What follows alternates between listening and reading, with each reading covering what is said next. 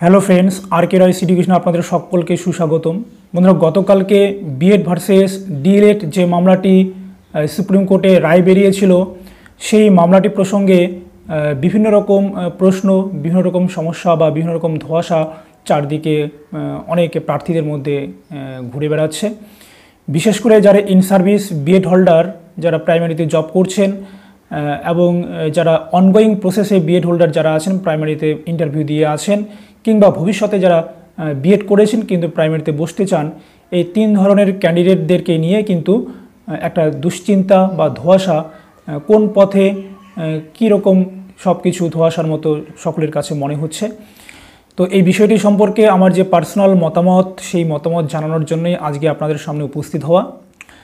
তো প্রথমেই বলে রাখি এই বিএড এবং ডিএলএড ভার্সেস যে মামলাটি সুপ্রিম কোর্টে চলছিল, সেই মামলাটির কিছু ব্যাকগ্রাউন্ড আমরা সকলেই জানি আঠাশ ছয় দু হাজার আঠারোতে এনসিটিই একটি নোটিফিকেশন প্রকাশ করেছিল, যেখানে ক্লাস ওয়ান থেকে ফাইভ পর্যন্ত প্রাথমিক বিদ্যালয়ে যারা বিএড ক্যান্ডিডেট আছেন, তাদেরকে সুযোগ দেওয়ার কথা বলা হয়েছে এবং চাকরি পাওয়ার দু বছরের মধ্যে একটি ছ মাসের ডিসকোর্স করানোর কথা বলা হয়েছে। এই নোটিশটির সুবাদে সারা ভারতবর্ষের বিভিন্ন রাজ্যে কিন্তু বিএডরা প্রাথমিক স্কুলে শিক্ষকতা করার জন্য এলিজিবল হয়ে যায়।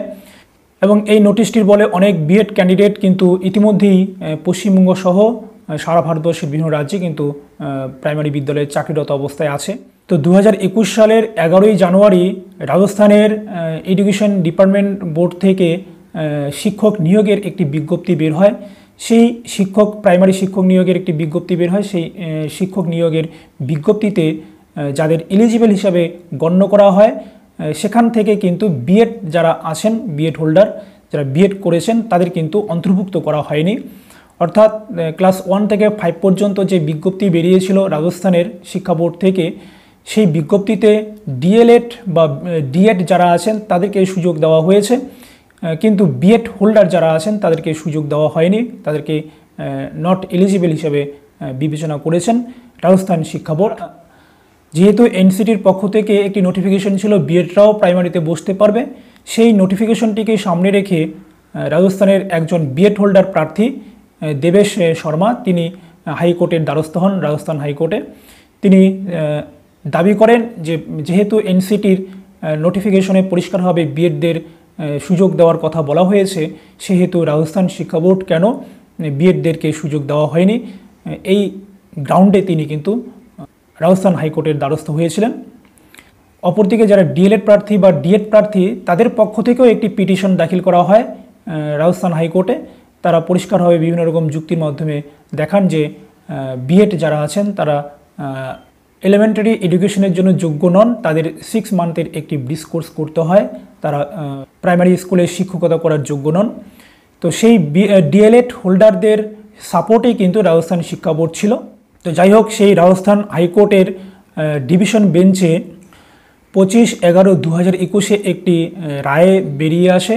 সেই রায়ে ডিভিশন বেঞ্চ পরিষ্কারভাবে কিন্তু রাজস্থান সরকারের পক্ষে রায় দেন এবং এনসিটির যে দু হাজার আঠারোর বিএডদের যে সুযোগ দেওয়ার কথা বলেছেন, সেই নোটিশটিকে কার্যত নাকচ করে দেন বা বাতিল করে দেন। এবং ক্লাস ওয়ান থেকে ক্লাস ফাইভ পর্যন্ত শিক্ষক নিয়োগের ক্ষেত্রে বিএডদেরকে আনকোয়ালিফাইড হিসাবে ঘোষণা করে দেন। তো এই রায়দানটিকে চ্যালেঞ্জ করেই কিন্তু শেষে সুপ্রিম কোর্টে যাওয়া হয় এবং সুপ্রিম কোর্টে বিশদ আলোচনার পর গতকালকে রায়টি কিন্তু বেরিয়ে আসে। এই সম্পূর্ণ অর্ডারটিতে আমরা যেটা স্পষ্টভাবে বিভিন্ন ছত্রে ছত্রে আমরা লক্ষ্য করি, সেটা হচ্ছে যারা ডিএলএড প্রার্থী, তাদের যে কারিকুলাম তাদের যে কোর্স সেই কোর্সটির মেন উদ্দেশ্যই হচ্ছে এলিমেন্টারি এডুকেশনের জন্য, অর্থাৎ প্রাথমিক বিদ্যালয়ের শিশুদের পড়াশোনার জন্যই কিন্তু ডিএলএডদের প্রশিক্ষণ দেওয়া হয়। এবং যারা বিএড আছেন, তাদেরকে আপার প্রাইমারি থেকে শুরু করে নাইন টেন ইলেভেন টুয়েলভ এইসব ছাত্রছাত্রীদের শিক্ষাদানের জন্যই কিন্তু যারা বিএড তাদেরকে প্রশিক্ষণ দেওয়া হয়। এনসিটির বিভিন্ন মিটিং এবং বিভিন্ন নিয়মকানুন এখানে পরিষ্কারভাবে উল্লেখ করে সেখানে প্রমাণিত করা হয়। ক্লাস ওয়ান থেকে ক্লাস ফাইভ পর্যন্ত পড়ানোর একমাত্র অধিকারী হচ্ছে ডিএলএড প্রার্থীরা। কারণ ক্লাস ওয়ান থেকে ক্লাস এইট পর্যন্ত শিশুদেরকে কীভাবে পড়ানোর দরকার সেটা সম্পূর্ণরূপে ডিএলএড যে কোর্সটি আছে সেই প্রশিক্ষণের মধ্যেই একমাত্র শিখতে পারবে। এবং এনসিটি কেন দু হাজার আঠারো সালে এই নোটিফিকেশনটি প্রকাশ করল, অর্থাৎ বিএডদেরকে প্রাইমারিতে সুযোগ দিল, কেন সুযোগ দিল সে সম্পর্কে কিন্তু তেমন একটা সদুত্তর দিতে পারেননি। এখানে বলা হয়েছে এনসিটি একটিমাত্র ডিরেকশন দিতে পারে সারা ভারতবর্ষের বিভিন্ন রাজ্যগুলিকে এবং সেই ডিরেকশন অনুযায়ী প্রত্যেকটি রাজ্য চলতে পারে কিংবা তার কিছুটা পরিবর্তন করে নিজস্ব নিজস্ব আইন মোতাবেক কিন্তু রাজ্যগুলো চলতে পারে। এনসিটি শুধুমাত্র সেন্ট্রাল গভর্নমেন্টের একটি পলিসির রূপায়ণের কাজ করে মাত্র, অর্থাৎ সেন্ট্রাল গভর্নমেন্ট যে নীতি বা পলিসি প্রয়োগ করতে চায়, সেই নীতি বা পলিসির উপর নির্ভর করেই তারা কিন্তু একটা গাইডলাইন বা ডিরেকশন ঠিক করে দেয়। সেই গাইডলাইন এবং ডিরেকশন অনুযায়ী বিভিন্ন রাজ্যগুলি তাদের নিজস্ব নিয়ম বা নিজস্ব চলার পথ কিন্তু তারা করে নেয়। শেষ পর্যন্ত সুপ্রিম কোর্ট রাজস্থান হাইকোর্টের যে রায়টি দিয়েছিল, সেই রায়টিকেই বহাল রাখেন। অর্থাৎ ক্লাস ওয়ান থেকে ফাইভ পর্যন্ত প্রাথমিক শিক্ষক নিয়োগের ক্ষেত্রে শুধুমাত্র ডিএলএডটাই সুযোগ পাবে, বিএডরা এখানে সুযোগ পাবে না এবং এনসিটির সেই নোটিফিকেশন কার্যত নাকচ করে দেওয়া হয়। এনসিটি এখানে আরটিই অ্যাক্টের যে প্রিন্সিপাল, সেই প্রিন্সিপালকেই ভায়োলেট করেছে।